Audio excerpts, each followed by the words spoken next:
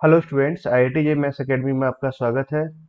Channel पर नए हो तो सब्सक्राइब करो, बेल आइकन के बटन को प्रेस करिए to get the latest update इस चैनल पर हम जेई मेन और जेई एडवांस के जो प्रीवियस ईयर की प्रॉब्लम्स है, सभी का सॉल्यूशंस यहाँ पर डिस्कस कर रहे हैं। ठीक है तो जब आप यूट्यूब में प्लेलिस्ट वाले पार्ट पे जाओगे तो प्लेलिस्ट में आपको सारी प्रॉब्लम्स मिल जाएँगी। वेल वीडियो कंटिन्यू करते हैं। चैप्टर कंटिन्यूटी एंड डिफरेंशियबिलिटी का प्रॉब्लम हम डिस्कस कर रहे हैं।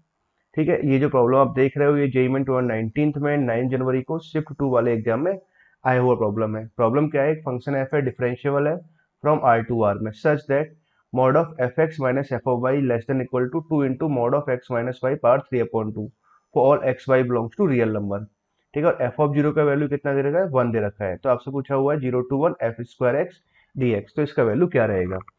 क्लियर स्टूडेंट ना उसको आप सिंप्लीफाई करते हैं सॉल्व कैसे करेंगे? अच्छा पहले तो आप समझो कंडीशंस क्या गिवन है? Since mod of f x minus of f of y ठीक है लेस देन इक्वल टू कितना गिवन है? Mod of x minus y power में कितना गिवन है? थ्री बाई टू और साथ में इंटू में टू लिखा हुआ है। ठीक है? अच्छा यहाँ से आप इस बात को अच्छे ढंग से समझो कि इसको देखो, मैं ऐसे लिख सकता हूँ।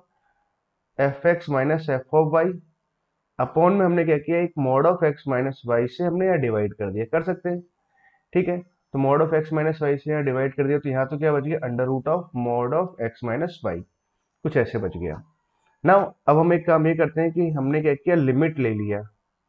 लिमिट क्या लिया? जब एक्स वाई को अप्रोच कर रहा है। ठीक है? ऐसा लिख सकते हैं?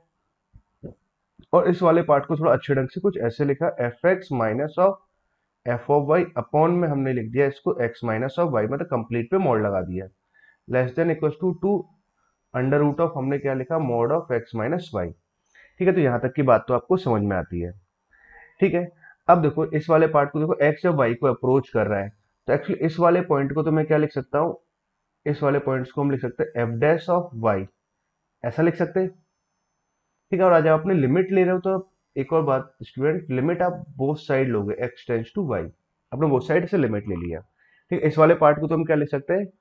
Mod of f dash y ठीक, ऐसा कुछ हमने लिखा। लेस देन इक्वल टू जब एक्स वाई को अप्रोच कर रहा है तो कहा ज़ीरो को अप्रोच कर रहा है? तो इसका लिमिटिंग वैल्यू कितना आ जाएगा? ज़ीरो आ जाएगा। फाइनली हमने इसको क्या लिख दिया? ज़ीरो लिख दिया। ठीक है स्टूडेंट तो ये बात आपको समझ में आई कि नहीं आई? अच्छा देखो, कुछ स्टूडेंट्स को हो सकता है कि यहाँ वाले पॉइंट पे कुछ डाउट हो सकता है। तो देखो, समझो। कि कंडीशंस क्या होता है कि अगर आपको जब लिखना होता है कि कोई फ़ंक्शन है x is equal to a पर आपको डिफरेंशियबिलिटी लिखना होता है तो आप क्या लिखते हो? एफ़ डैश ऑफ़ ए लिखते हो। एफ़ डैश ऑफ़ ए क्या लिखते हो आप? Limit of x tends to a f x minus of f of a upon में एक्स माइनस ऑफ़ ए ठीक है तो f x minus f of a upon x minus a को, और जब लिमिट कैसा है? एक्स जब ए को अप्रोच कर रहा है तो इसको हम क्या लिखते हैं? एफ़ डैश ए लिखते हैं। ये डेफिनेशन होता है जब फ़ंक्शन ए पर डिफरेंशियबल होता है तो ठीक है, यही तो लिखा हुआ है यहाँ पर। और उसने बोला है कि फ़ंक्शन एफ़ कैसा है? डिफरेंशियबल है। तो x tends to y y की जगह क्या आ रहा है? मतलब ए की जगह क्या आ गया? वाई आ गया। ठीक है तो ऐसा कुछ बन गया। ठीक है एफ़ डैश वाई अब सर यहाँ से समझो इस बात को, इसका मोड जो है वो less than equal to zero आ रहा है। किसी भी पॉइंट से मोड तो हमेशा कैसा होता है? पॉजिटिव होता है मतलब कभी लेस देन ज़ीरो तो हो नहीं सकता। इट मीन कि यहाँ से आप इम्प्लाइज करके क्या बोल सकते हैं कि जो एफ़ डैश वाई है, इसका जो मैग्नीट्यूड है वो क्या हो सकता है? ज़ीरो हो सकता है। मीन्स यहाँ से हम ये कह सकते हैं कि एफ़ डैश वाई ज़ीरो हो गया एफ़ डेस वाई ज़ीरो हो गया इट मीन कि यहाँ से आप एक पॉइंट ये कह सकते हो जो एफ़ एक्स है वो कैसा होगा? कॉन्स्टेंट होगा। एफ़ एक्स कॉन्स्टेंट है तो मान लो आपने सी मान लिया। ठीक है एक्स इक्व टू आपने ज़ीरो पुट किया तो एफ़ ऑफ़ ज़ीरो, देखो x equal to zero put करते हैं तो x equal to zero put करने पर क्या होना f of zero is equal to c और एफ़ ऑफ़ ज़ीरो का वैल्यू कितना वन है तो एफ़ ऑफ़ सी का वैल्यू कितना आ गया वन आ गया। तो इसलिए हम यहाँ से एक पॉइंट ये कह सकते हैं कि जो एफ़ एक्स का वैल्यू है वो कितना आ गया वन आ गया। ठीक। और आपसे पूछा क्या गया है? Zero to one f square x d x पूछा गया है। और f square x, f x का वैल्यू कितना आ रहा है? वन आ रहा है। मतलब ज़ीरो टू वन आपको डी एक्स निकालना है। डी एक्स का इंटीग्रेशन एक्स आ जाएगा, upper limit, lower limit put कराओगे तो वन आ गया। फाइनली आंसर कितना है वन आया। तो कौन सा ऑप्शन करेक्ट हुआ?